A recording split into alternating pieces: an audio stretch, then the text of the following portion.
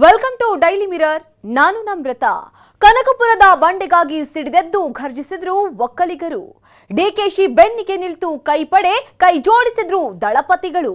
ಇಕ್ಕಟ್ಟಿನಲ್ಲಿ BSY ಒಕ್ಕಲಿಗರ ವಿರೋಧ ಕಟ್ಟಿಕೊಳ್ತಾ BJP ಬಂಡೆಗೆ ತೋಡಿದ ಖೆಡ್ಡಾದಲ್ಲಿ ಕೇಸರಿ ಪಡೆಯೇ ಬೀಳುತ್ತಾ.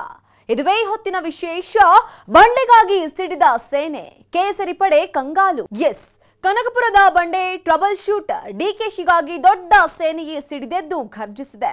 ರಾಜ್ಯದ ಮೂಲೆ ಮೂಲೆಯಿಂದ ಬಂದಿದ್ದ ಒಕ್ಕಲಿಗರು, ಬೆಂಬಲಿಗರು, ಕಾಂಗ್ರೆಸ್ ಕಾರ್ಯಕರ್ತರ ಆಕ್ರೋಶಕ್ಕೆ ಇಡೀ ರಾಜಧಾನಿಯೇ ಸ್ತಬ್ಧವಾಗಿತ್ತು. ಡಿಕೆಶಿಯನ್ನ ಇಡಿ ಬಂಧಿಸಿದ್ದಕ್ಕೆ ಆಕ್ರೋಶಗೊಂಡ ಒಕ್ಕಲಿಗರು ಒಗ್ಗಟ್ಟಾಗಿ ಶಕ್ತಿ ಪ್ರದರ್ಶನ ಮಾಡಿದ್ರೆ, ಇದು ಸೀದಾ ಬಿಜೆಪಿಗೆ ಬಿಸಿ ತುಪ್ಪವಾಗಿ ಪರಿಣಮಿಸಿದೆ. ಯಾಕಂದ್ರೆ ಒಕ್ಕಲಿಗರ ವಿರೋಧ ಕಟ್ಟಿಕೊಳ್ಳುವ ಭೀತಿ ಎದುರಾಗಿದೆ. ಹಾಗಾದ್ರೆ ಡಿಕೆಶಿಗೆ ಖೆಡ್ಡ ತೋಡಿದ್ದು ಬಿಜೆಪಿಗೆ ಮುಳುವಾಗುತ್ತಾ? ಬನ್ನಿ ಹೇಳ್ತೀವಿ. ಕನಕಪುರದ ಬಂಡೆಗಾಗಿ ಸಿಡಿದೆದ್ದು ಘರ್ಜಿಸಿದ್ರು ಒಕ್ಕಲಿಗರು. ಡಿಕೆಶಿ ಬೆನ್ನಿಗೆ ನಿಲ್ತು ಕೈಪಡೆ, ಕೈ ಜೋಡಿಸಿದ್ರು ದಳಪತಿಗಳು. ಇಕ್ಕಟ್ಟಿನಲ್ಲಿ ಬಿಎಸ್ವೈ ಒಕ್ಕಲಿಗರ ವಿರೋಧ ಕಟ್ಟಿಕೊಳ್ತಾ ಬಿಜೆಪಿ ಬಂಡೆಗೆ ತೋಡಿದ ಖೆಡ್ಡಾದಲ್ಲಿ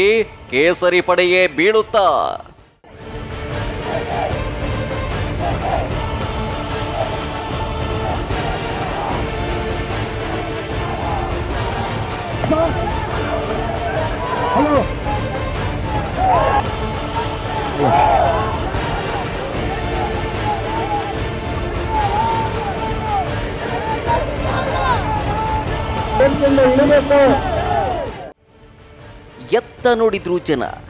ಎಲ್ಲಿ ನೋಡಿದ್ರು ಜನ ಸಾಗರ. ರಸ್ತೆಗಳ ತುಂಬ ಆಕ್ರೋಶದ ಕಿಚ್ಚು. ಹೌದು, ಬುಧವಾರ ರಾಜ್ಯ ರಾಜಧಾನಿ ಬೆಂಗಳೂರು ಅಕ್ಷರಶಃ ಡಿಕೆ ಮಯವಾಗಿತ್ತು ಕನಕಪುರದ ಬಂಡೆ, ಟ್ರಬಲ್ ಶೂಟರ್ ಡಿಕೆಶಿಗಾಗಿ ದೊಡ್ಡ ಸೇನೆಗೆ ಸಿಡಿದೆದ್ದು ಘರ್ಜಿಸಿತ್ತು. ರಾಜ್ಯದ ಮೂಲೆ ಮೂಲೆಯಿಂದ ಬಂದಿದ್ದ ಒಕ್ಕಲಿಗರು, ಬೆಂಬಲಿಗರು ಕಾಂಗ್ರೆಸ್ ಕಾರ್ಯಕರ್ತರ ಆಕ್ರೋಶಕ್ಕೆ ಇಡೀ ರಾಜಧಾನಿಯೇ ಸ್ತಬ್ಧವಾಗಿತ್ತು. ಡಿಕೆಶಿಯನ್ನ ಇಡಿ ಅಧಿಕಾರಿಗಳು ಬಂಧಿಸಿದ್ದಕ್ಕೆ ಆಕ್ರೋಶಗೊಂಡ ಒಕ್ಕಲಿಗರು ಒಗ್ಗಟ್ಟಾಗಿ ಶಕ್ತಿ ಪ್ರದರ್ಶನ ಮಾಡಿದ್ರು. ಅಭಿಮಾನಿಗಳ ಆಕ್ರೋಶದ ಕಟ್ಟೆ ಒಡೆದಿತ್ತು.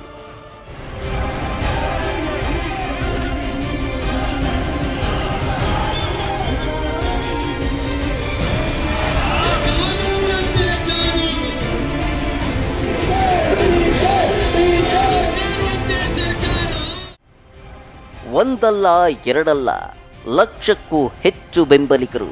ಹತ್ತಕ್ಕೂ ಹೆಚ್ಚು ಜಿಲ್ಲೆಗಳಿಂದ ಸಾವಿರಾರು ಬಸ್ಗಳ ಮೂಲಕ ಬೆಂಗಳೂರಿಗೆ ಧಾವಿಸಿ ಬಂದಿದ್ರು.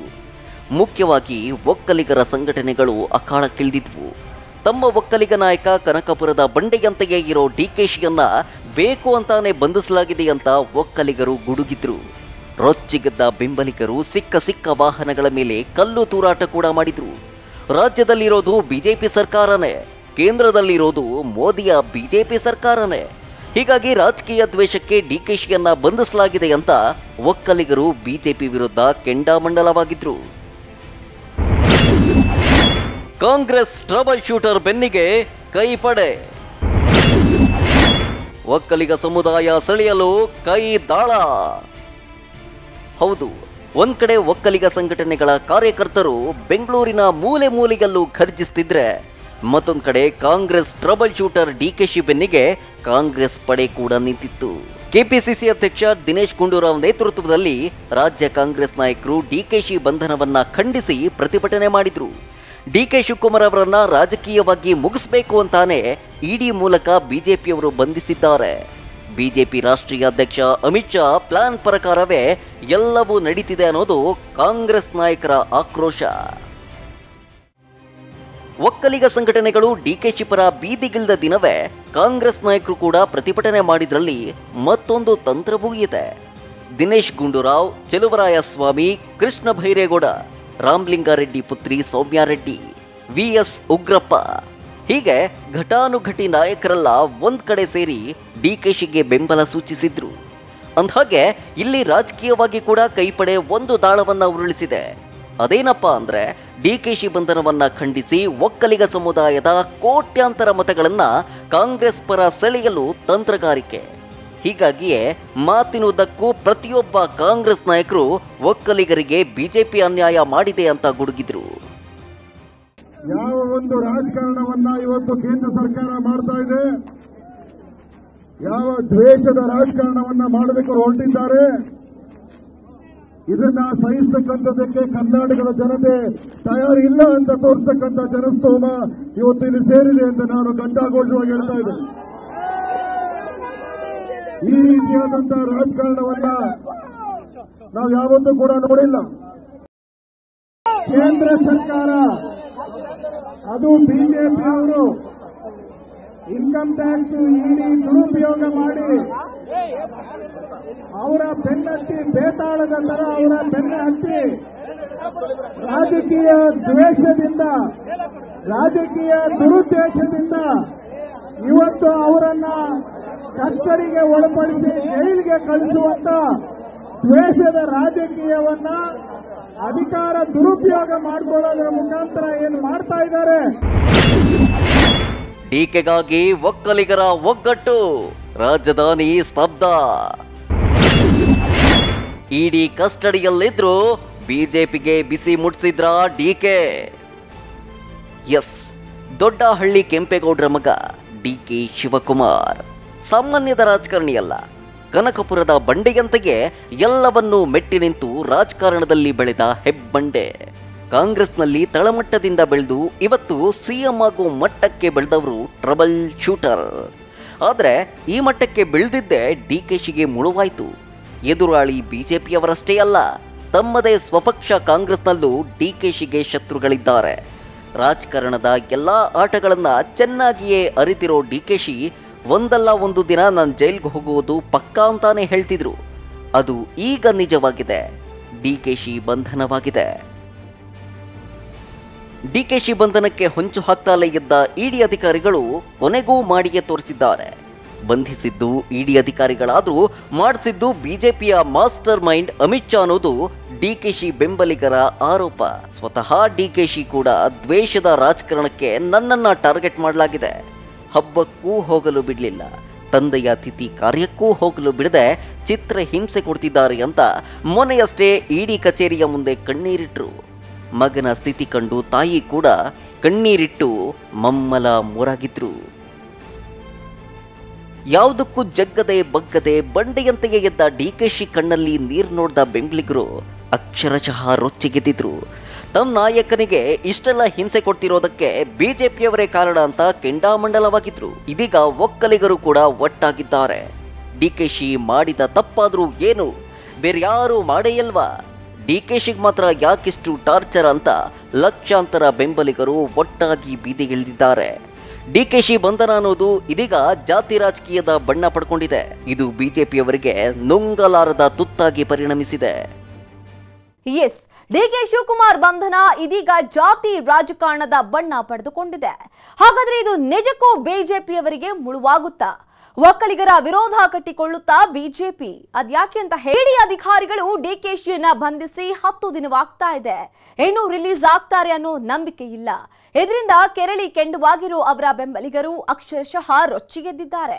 ಈ ಮಧ್ಯೆ ಪ್ರಬಲ ಒಕ್ಕಲಿಗ ಸಮುದಾಯದ ಸ್ವಾಮೀಜಿಗಳು ಸಮೇತ ಇಡೀ ಸಮಾಜ ಡಿಕೆಶಿ ಬೆನ್ನಿಗೆ ನಿಂತಿದೆ. ಈ ಮೂಲಕ ಡಿಕೆಶಿ ಬಂಧನ ಇದೀಗ ಜಾತಿ ರಾಜಕಾರಣದ ಬಣ್ಣ ಪಡೆದುಕೊಂಡಿದೆ. ಹಾಗಾದ್ರೆ ಇದು ನಿಜಕ್ಕೂ ಬಿಜೆಪಿಯವರಿಗೆ ಮುಳುವಾಗುತ್ತಾ? ಒಕ್ಕಲಿಗರ ವಿರೋಧ ಕಟ್ಟಿಕೊಳ್ಳುತ್ತಾ ಬಿಜೆಪಿ. ಅದ್ಯಾಕೆ ಅಂತೀರಾ? ಬನ್ನಿ ಹೇಳ್ತೀವಿ. ಡಿಕೆಶಿ ಬೆನ್ನಿಗೆ ನಿಂತರು ಲಕ್ಷಾಂತರ ಒಕ್ಕಲಿಗರು. ಬಿಜೆಪಿಯ ಒಕ್ಕಲಿಗ ನಾಯಕರಿಗೆ ಠವ ಠವ ಶುರು. ಒಕ್ಕಲಿಗರ ವಿರೋಧ ಕಟ್ಟಿಕೊಳ್ಳುತ್ತಾ ರಾಜ್ಯ ಬಿಜೆಪಿ. ಎಸ್. ಒಕ್ಕಲಿಗರ ಒಗ್ಗಟ್ಟು ಬುಧವಾರ ರಾಜ್ಯ ರಾಜಧಾನಿ ಬೆಂಗಳೂರನ್ನ ಸ್ತಬ್ಧಗೊಳಿಸಿತ್ತು. ರಾಜ್ಯದ ಮೂಲೆ ಮೂಲೆಯಿಂದ ಬಂದಿದ್ದ ಒಕ್ಕಲಿಗರು ಡಿಕೆಶಿ ಬಂಧನ ಖಂಡಿಸಿ ಸಿಡಿದೆದ್ರು. ಬರೀ ಒಕ್ಕಲಿಗ ಸಮಾಜದ ನಾಯಕರು ಮುಖಂಡರಷ್ಟೇ ಅಲ್ಲ, ಅವರ ಸಮಾಜದ ಪ್ರಭಾವಿ ಸ್ವಾಮೀಜಿಗಳೆಲ್ಲ ಒಂದಾಗಿದ್ರು, ಒಂದ್ ಕಡೆ ಸೇರಿದ್ರು.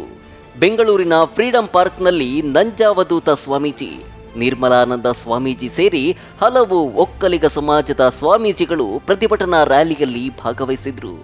ತಮ್ಮ ಸಮಾಜದ ಡಿಕೆಶಿಯನ್ನ ಅನ್ಯಾಯವಾಗಿ ಬಂಧಿಸಲಾಗಿದೆ. ಸಮುದಾಯದ ಲಕ್ಷಾಂತರ ಮಂದಿಗೆ ನೋವಾಗಿದೆ ಅಂತ ಕಿಡಿಕಾರಿದ್ರು. ಒಂದು ಸಣ್ಣ ವ್ಯಕ್ತಿ ಕೂಡ ತೊಂದರೆ ಆಗಬಾರದು ನಮ್ಮಿಂದ. ನಾವೆಲ್ಲ ಇಡಿ ಬಿತ್ತಿ ಕಂಡಗ ಬೆಳೆಯೋ ಜನ.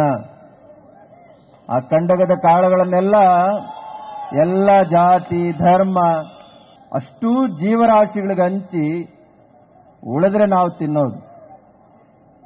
ಒಕ್ಕಲಿಗರು, ಯಾರಿಗೂ ಕೂಡ ಕಿಂಚಿತ್ ನೋವನ್ನು ಕೊಡದೆ, ಘಾಸಿಯನ್ನು ಉಂಟು ಮಾಡದೆ ಬದುಕಿ ತೋರಿಸಿರುವಂಥದ್ದು ಅಂತ ಒಬ್ಬ ಧೀಮಂತ ವ್ಯಕ್ತಿ ನೌನಲ್ಲಿದ್ದಾನೆ ಆಗಿ ಅಂತ ಹೇಳಿದ್ರೆ, ನಾಡು ನುಡಿ ಪರವಾಗಿ ಮಿಡಿದಂತ ಒಬ್ಬ ವ್ಯಕ್ತಿ ನೌನಲ್ಲಿದ್ದಾನೆ ಅಂತ ಇದ್ರೆ ನಾನು ಒಳ ಕೂತ್ಕೊಂಡು ಅದನ್ನ ನೋಡ್ತಾ ಇದ್ರೆ ನನ್ನಂತ ಹೇಳಿ ಇನ್ನೊಬ್ಬ ಇಲ್ಲ ಅನ್ನಂತ ವ್ಯಕ್ತಿ. ರಾಜ್ಯದಲ್ಲಿ ಪ್ರತಿ ಸಮುದಾಯದ ಜನಾಂಗಕ್ಕೂ ತಮ್ಮದೇ ಆದ ಸ್ವಾಮೀಜಿಗಳು ಆಶ್ರಮವೂ ಇವೆ. ಅದೇ ರೀತಿ ಒಕ್ಕಲಿಗ ಸಮಾಜಕ್ಕೂ ಸ್ವಾಮೀಜಿಗಳಿದ್ದಾರೆ. ಅಂದಹಾಗೆ ರಾಜ್ಯದ ಜನಸಂಖ್ಯೆಯಲ್ಲಿ ಒಕ್ಕಲಿಗ ಸಮಾಜ ಎರಡನೇ ಸ್ಥಾನದಲ್ಲಿದ್ದು ಪ್ರಬಲವಾಗಿದೆ. ಇಂಥ ಸಮುದಾಯಕ್ಕೆ ಸೇರಿರೋ ಡಿಕೆಶಿಯನ್ನ ಇಡಿ ಅಧಿಕಾರಿಗಳು ಬಂಧಿಸಿ ವಿಚಾರಣೆ ಮಾಡ್ತಿದ್ದಾರೆ. ಇಡಿ ಅಧಿಕಾರಿಗಳು ಬಂಧಿಸಿದ್ರು ಮಾಡಿಸಿರೋದು ಮಾತ್ರ ಬಿಜೆಪಿಯವರು ಅನ್ನೋದು ಒಕ್ಕಲಿಗ ಸಮಾಜದವರ ಆರೋಪ. ಇದನ್ನೇ ಸ್ವಾಮೀಜಿಗಳು ಕೂಡ ಒತ್ತಿ ಒತ್ತಿ ಹೇಳ್ತಿದ್ದಾರೆ. ಅಲ್ಲಿಗೆ ಏನೂ ಅರಿಯದ ಒಕ್ಕಲಿಗ ಸಮುದಾಯದ ಪ್ರತಿಯೊಬ್ಬರ ಮೇಲೂ ಸ್ವಾಮೀಜಿಗಳ ಮಾತು ಪ್ರಭಾವ ಬೀರೋ ಸಾಧ್ಯತೆ ಇದೆ. ಇದೇ ಭಯ ಇದೀಗ ಬಿಜೆಪಿಯವರಿಗೆ ಎದುರಾಗಿದೆ. ಅದರಲ್ಲೂ ಬಿಜೆಪಿಯಲ್ಲಿರುವ ಒಕ್ಕಲಿಗ ಸಮುದಾಯದ ಸಿಟಿ ರವಿ, ಆರ್ ಅಶೋಕ್ ಸದ್ಯ ಡಿಸಿಎಂ ಆಗಿರೋ ಅಶ್ವಥ್ ನಾರಾಯಣ್ ಸೇರಿ ಒಕ್ಕಲಿಗ ಬಿಜೆಪಿ ನಾಯಕರಿಗೆ ಬಿಸಿ ತುಪ್ಪವಾಗಿ ಪರಿಣಮಿಸಿದೆ. ಅನುಕಂಪದ ದಾಳ ಉರುಳಿಸ್ತು ಕಾಂಗ್ರೆಸ್. ಒಕ್ಕಲಿಗ ವೋಟ್ ಬ್ಯಾಂಕ್ ಆಗಿ ಎಚ್ಡಿಕೆ ಅಸ್ತ್ರ. ಹೌದು ಡಿಕೆಶಿ ಬಂಧನವನ್ನೇ ಮುಂದಿಟ್ಕೊಂಡು ಒಂದ್ ರೀತಿಯಲ್ಲಿ ಕಾಂಗ್ರೆಸ್ ಅನುಕಂಪ ದಾಳ ಉರುಳಿಸಿದೆ. ಬಿಜೆಪಿ ದ್ವೇಷ ರಾಜಕಾರಣದಿಂದ ಒಕ್ಕಲಿಗ ಪ್ರಭಾವಿ ನಾಯಕ ಡಿಕೆಶಿಗೆ ಅನ್ಯಾಯ ಮಾಡಲಾಗಿದೆ ಅಂತ ಕಾಂಗ್ರೆಸ್ನವರು ಬಿಂಬಿಸುತ್ತಿದ್ದಾರೆ ಇತ್ತ ಕಾಂಗ್ರೆಸ್ನಿಂದ ಮೈತ್ರಿ ಮುರ್ಕೊಂಡಿರೋ ಜೆಡಿಎಸ್ನವರು ಕೂಡ ಡಿಕೆಶಿ ವಿಚಾರದಲ್ಲಿ ಬೆಂಬಲ ಕೊಟ್ಟಿದ್ದಾರೆ. ತಮ್ಮದೇ ಒಕ್ಕಲಿಗ ಸಮುದಾಯದ ಡಿಕೆಶಿಗೆ ಬಿಜೆಪಿ ಅನ್ಯಾಯ ಮಾಡ್ತಿದೆ ಅನ್ನೋ ಮೂಲಕ ತಮ್ಮ ಒಕ್ಕಲಿಗ ಮತಗಳನ್ನು ತಮ್ಮಲ್ಲೇ ಇರಿಸಿಕೊಳ್ಳೋ ಅಸ್ತ್ರವನ್ನ ಮಾಜಿ ಸಿಎಂ ಕುಮಾರಸ್ವಾಮಿ ಕೂಡ ಬಿಡ್ತಿದ್ದಾರೆ. ಮಂಡ್ಯ, ಹಾಸನ, ಮೈಸೂರು, ತುಮಕೂರು, ರಾಮನಗರ, ಬೆಂಗಳೂರು ಭಾಗದಲ್ಲಿ ಒಕ್ಕಲಿಗರ ವೋಟ್ ಬ್ಯಾಂಕ್ ಇತ್ತು.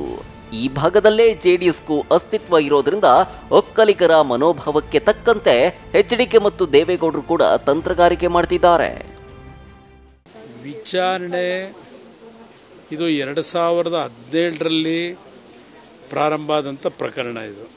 ಈಗ ಈ ಪ್ರಕರಣದಲ್ಲಿ ಕಳೆದ ನಾಲ್ಕು ದಿನಗಳಿಂದ ಎಲ್ಲ ರೀತಿ ಮಾಹಿತಿಯನ್ನು ಸಂಗ್ರಹ ಮಾಡ್ಕೊಳ್ಳಿ ಕರೆದಿದ್ರು ಅವರೇನು ತಪ್ಪಿಸ್ಕೊಂಡಿಲ್ಲ, ಹೋಗಿದ್ದಾರೆ.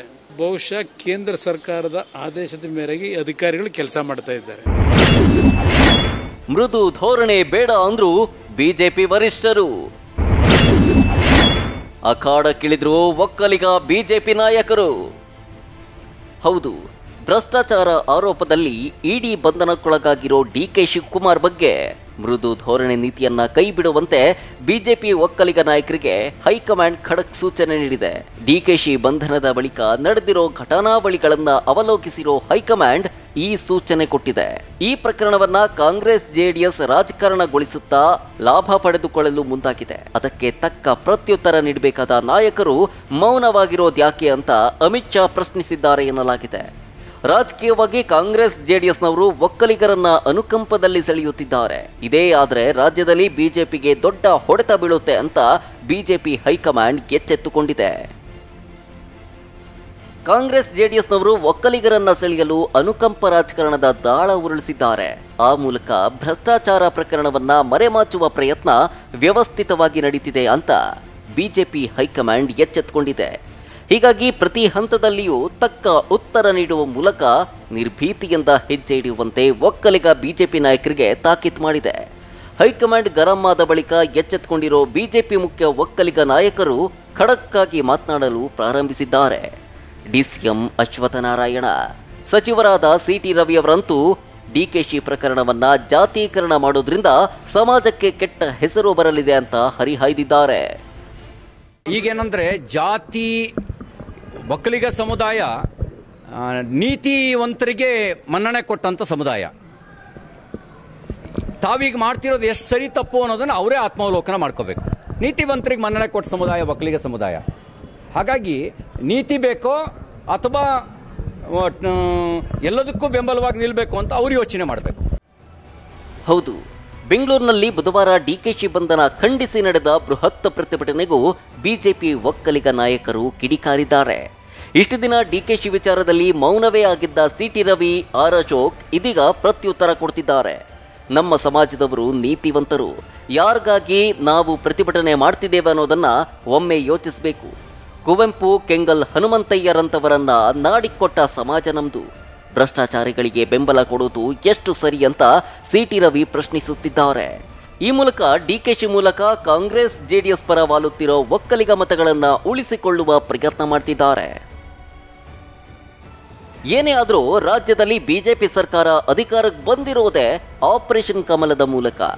ಕೇವಲ ನೂರ ಐದು ಶಾಸಕರನ್ನ ಹೊಂದಿರೋ ಯಡಿಯೂರಪ್ಪ ಸಿಎಂ ಕುರ್ಚಿಯು ಗಟ್ಟಿಯಾಗಿ ಏನೂ ಇಲ್ಲ. ಆದ್ದರಿಂದ ಸದ್ಯದಲ್ಲೇ ನಡೆಯಲಿರೋ ಹದಿನೇಳು ವಿಧಾನಸಭಾ ಕ್ಷೇತ್ರಗಳ ಉಪಚುನಾವಣೆಯಲ್ಲಿ ಬಿಜೆಪಿ ಕನಿಷ್ಠ ಹನ್ನೆರಡರಲ್ಲಾದರೂ ಗೆಲ್ಲೇಬೇಕು. ಆದರೆ ಕಾಂಗ್ರೆಸ್ ಜೆಡಿಎಸ್ನವರು ಪ್ರಬಲವಾಗಿ ಹೋರಾಡುವುದು ಪಕ್ಕ. ಮುಖ್ಯವಾಗಿ ರಾಜೀನಾಮೆ ಕೊಟ್ಟ ಅನರ್ಹ ಶಾಸಕರಿಗೆ ಡಿಕೆಶಿ ಸವಾಲ್ ಹಾಕಿದ್ದು ಕಾಂಗ್ರೆಸ್ ಅಭ್ಯರ್ಥಿಗಳನ್ನ ಗೆಲ್ಲಿಸೋಕೆ ಬಂಡೆಯಂತೆಯೇ ನಿಲ್ತಾರೆ. ಆದ್ದರಿಂದ ಡಿಕೆಶಿಯನ್ನ ಲಾಕ್ ಮಾಡಿದ್ರೆ ಕಾಂಗ್ರೆಸ್ ಸೋಲು ಖಚಿತ ಅಂತ ಅಮಿತ್ ಶಾ ಮಾಸ್ಟರ್ ಪ್ಲಾನ್ ಮಾಡಿದ್ದಾರೆ ಎನ್ನಲಾಗಿದೆ. ಆದ್ರೆ ಇದೀಗ ಒಕ್ಕಲಿಗ ಸಮುದಾಯ ಮುಖಂಡರು ಒಟ್ಟಾಗಿ ಡಿಕೆಶಿ ಬೆನ್ನಿಗೆ ನಿಂತಿರೋದು. ಬಿಜೆಪಿಯವರೇ ತೋಡಿ ಖೆಡ್ಡಕ್ಕೆ ತಾವೇ ಬೀಳುವಂತಾಗಿದೆ. ಹೌದು, ಏನೋ ಮಾಡಲು ಹೋಗಿ ಮತ್ತೇನೋ ಆಯ್ತು ಅನ್ನುವಂತಾಗಿದೆ ಬಿಜೆಪಿಯವರ ಪರಿಸ್ಥಿತಿ.